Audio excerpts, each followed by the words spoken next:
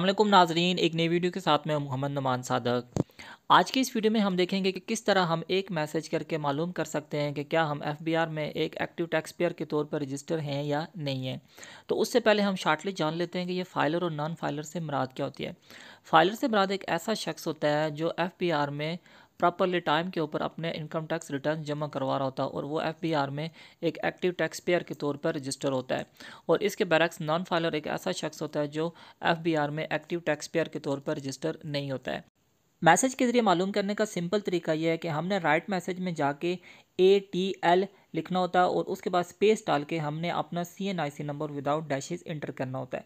यहाँ पे A T L से मराद है एक्टिव टैक्स पेयर लिस्ट तो ए टी एल लिख के उसके बाद स्पेस डालनी होता है और उसके बाद हमने विदाउट डैशेज अपना C N I C number enter करना होता है और ये हमने सेंड कर देना होता है डबल नाइन डबल सिक्स के ऊपर।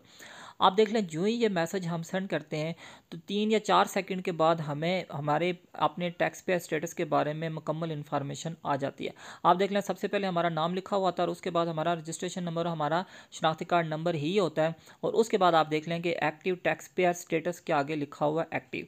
तो जो जो एक्टिव टैक्स पेयर के तौर पर रजिस्टर हैं तो उनके आगे इस तरह से एक्टिव लिखा हुआ आता है। जो एफबीआर में फाइलर के तौर पर रजिस्टर नहीं है, वो जब मैसेज इस तरह से करेंगे तो उनके आगे लिखा हुआ आता है नो रिकॉर्ड फाउंड तो ये तरीका है मालूम करने का कि क्या हम एफ़ में टैक्स फाइलर के तौर पर रजिस्टर हैं या नहीं है।